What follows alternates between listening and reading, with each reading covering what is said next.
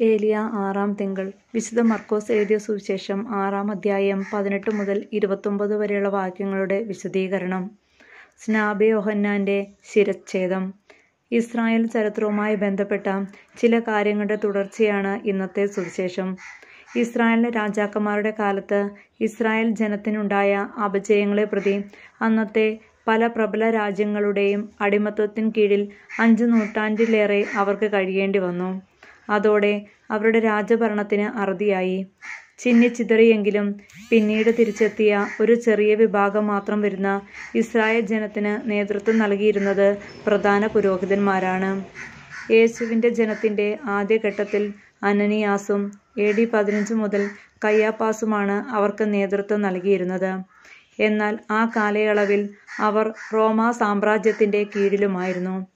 Israel ദേശത്തിന്റെ ഗവർണറായി വലിയ അധികാരത്തോടെ മഹാനായ ഹെറോദോസ് ഭരണമേറ്റു യേശുവിനെ വധിക്കാൻ കുഞ്ഞു പൈതങ്ങളെ വധിച്ചതും മരണസമയത്ത് രാജ്യം മുഴുവൻ വിലാപത്തിലാക്കാൻ തന്റെ തന്നെ അനേകം പ്രജകളെ കൊന്നെടുക്കാൻ ചട്ടം കെട്ടിയതുമായ അനേകം ക്രൂരകൃത്യങ്ങളുടെ ചരിത്രമുണ്ട് ഹെറോദോസിൽ. അദ്ദേഹത്തിന്റെ മരണശേഷം അവന്റെ ഭരണദേശം നാലായി വിഭജിച്ച് നാല് മക്കൾ ഭരണം തുടങ്ങി. അവരും റോമാ സാമ്രാജ്യത്തിന്റെ ഗവർണർമാർ മാത്രമായിരുന്നു.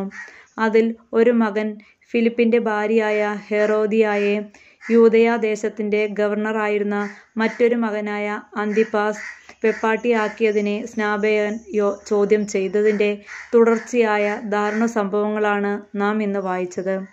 അതിനാൽ റോമാ സാമ്രാജ്യത്തിന്റെ കീഴിലുള്ള ആ രാജ്യത്തിന്റെ പകുതി വാഗ്ദാനം ചെയ്യാൻ അന്തിപ്പാസിന് അനുവാദമില്ലായിരുന്നു. എന്നിട്ടും അതിന്റെ പേരിൽ നിരപരാധിയായ സ്നാപകന്റെ ശിരസ് ഛേദിക്കാൻ അവൻ ആഞ്ഞു കൊടുക്കുന്നു.